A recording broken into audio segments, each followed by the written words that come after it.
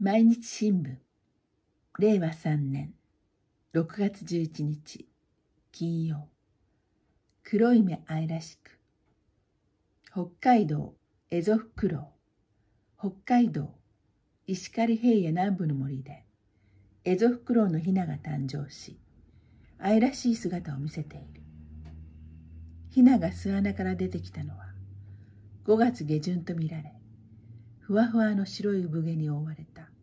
3羽が身を寄せ合ったり親鳥から餌をもらったりしていた。